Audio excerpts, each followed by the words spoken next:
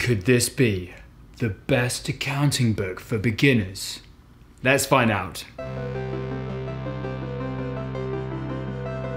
Hey there, welcome back to the channel. I'm James, this is Accounting Stuff, and today we're going to be reviewing this book, The Accounting Game, Basic Accounting, fresh from the lemonade stand. What a book! This is YouTube. I hear you, but this channel is all about helping you learn accounting. And whilst I think YouTube has been revolutionary in helping us pick up and understand things quickly, I think there's still something to be said for going old school, you know?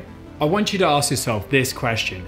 Have you ever watched a video on YouTube and thought, that, that was amazing. I need to just take all of that and put it in here and just apply it in my daily life. And then two days later, you're like, I can't even remember what that video was about. Well, that happens to me. And that is why I like to supplement all of that YouTube knowledge with some longer form content like books to help reinforce these ideas and make sure they end up in here in my long term memory so I'm not going to just forget it in a week's time. Now, I'm going to let you in on another little secret. I'm not a reader. I've battled with reading for years and years. The only books I could ever really get to the end of were the Harry Potter ones. And yeah, partly that's because I never realised that I needed glasses. But also, I just find books so, so boring. And there are too many distractions. And what kind of books are the most boring of them all? Accounting books. Wait. No, accounting books. I was chatting the other day to one of my viewers, Winston, on Instagram, and he said that the finance and accounting books that he'd read broke new records in boredom and that he wouldn't even recommend these to his foes. When you wouldn't even recommend a book to your worst enemies, well, that's not a good sign, is it? But Winston is totally right. There are way too many accounting books that pay far too much attention to detail and end up becoming 500 page monsters that I wouldn't even touch if my life depended on it. But is that always the case? Are all accounting books like that? I decided to do some research and see if there were any accounting books out there that won't have us all running for the hills. Anyway, during my research, one title kept on popping up. This one, The Accounting Game. I think I mentioned this one during my first ever video on the accounting equation, but today, I'm going to do a full review of this book and tell you everything that I liked and didn't like about it and then I'm gonna rate it out of five to help you decide whether it's worth your time. Every month or two, I like to release more book reviews alongside my usual tutorials, so if you'd like to see more of these, then don't forget to subscribe. And if you have any suggestions, let us know down below in the comments so that we can share these books amongst ourselves and find the good ones. Who knows, maybe I'll even end up reviewing it on this channel. Let's do this. The Accounting Game. Basic Accounting fresh from the lemonade stand. Published by Sourcebooks, produced by Educational Discoveries.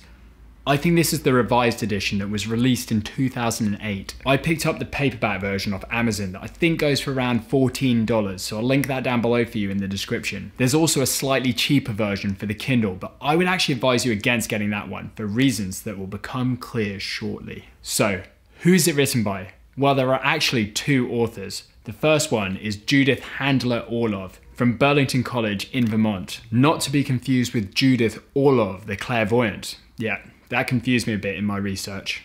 And the other author is Darrell Mullis, businessman and entrepreneur who surprisingly has never taken an official course in finance. Now, why should we want to learn accounting from someone who's never taken an official course in finance? Well, actually, I think that could be one of the book's biggest strengths. Hmm, interesting. They say in the intro, and let me see if I'll get this right.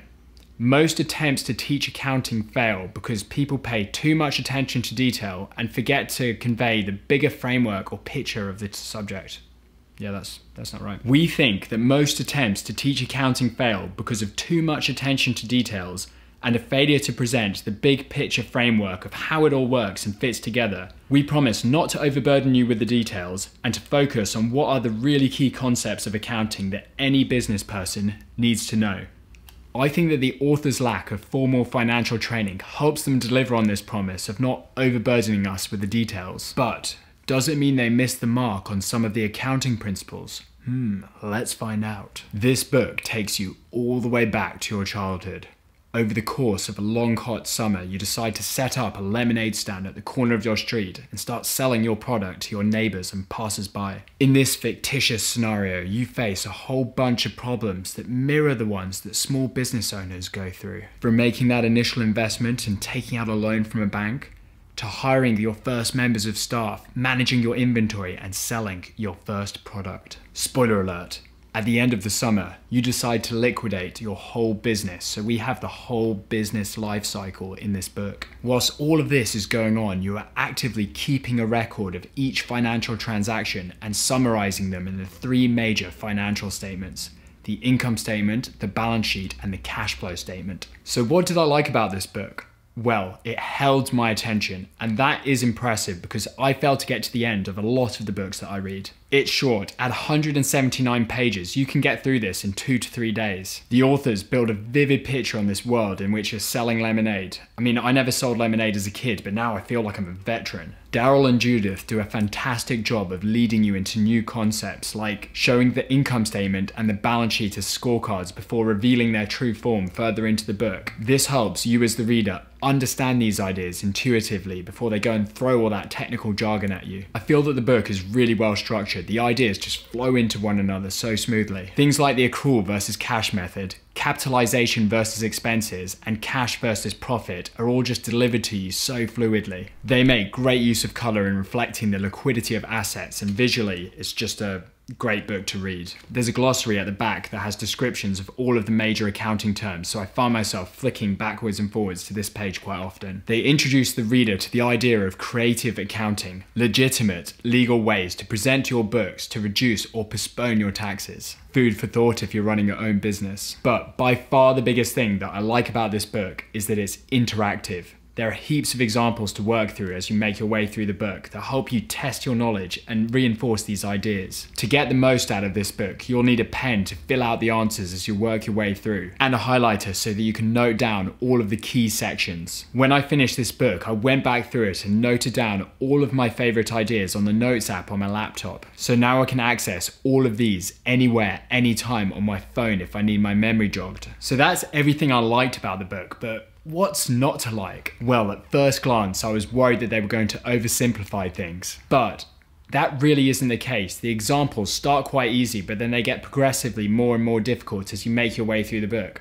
Not too quickly though, so don't worry about that. The underlying accounting is sound and should be more than enough for a small business owner. That being said, if you're experienced, you might find this book quite easy and maybe it doesn't have all of the detail that you want. But then the book isn't aimed at you anyway. Darrell and Judith promise not to overburden you with the details and this is basic accounting that we're talking about. However, I was surprised that this book didn't really mention debits and credits. They focus on balancing the balance sheet instead, which I suppose gets the job done, but I'd still like to see debits and credits credits in here. There's also no mention of GAAP or IFRS, which are the principles and standards that govern accounting or the indirect cash flow statement, but they do have the direct cash flow statement. Maybe some of those topics are beyond the scope of this book. And one more thing the lemonade stand in this book is a product based business. So that's the focus here on businesses that have inventory. I do appreciate though that in this revised version, they've added a chapter on service businesses. So you can see how the accounting differs in the income statement between these two types of business. Darrell and Judith say that this book is for all of you who have hated accounting, had difficulty learning it, or ever thought you didn't really get it. But I would go a step further and say that even after studying accounting, this was a great read. I am quite frankly amazed that an accounting book was able to hold my attention to the end. And it was refreshing to take a step back and see the whole framework of accounting from a different point of view. This is an accounting book for beginners, so you could argue that it's light on the detail, but in some ways, that's how it delivers. You could always supplement this with some further reading once you've got the hang of it. After much deliberation, I'm going to give it four and a half stars. I was considering going even higher, but this is my first book review, so there has to be room for improvement. I would highly recommend this to anyone running a small business. You'll get a lot of value out of this book. I'd also recommend it to anyone who's studying accounting. Don't be put off if you think it looks a bit childish. This book will help cement your understanding of how accounting works in the big picture. If you'd like to pick up a copy, I'd appreciate it if you use the link down in the description. It's an affiliate link, so you get the chance to support this channel and get a copy of the book at no extra cost to yourself. Let us all know if you've got any other accounting book recommendations down in the comments. If you'd like to learn more about accounting, then don't forget to subscribe to the channel. I've made a whole playlist of accounting basics videos that you can find right here.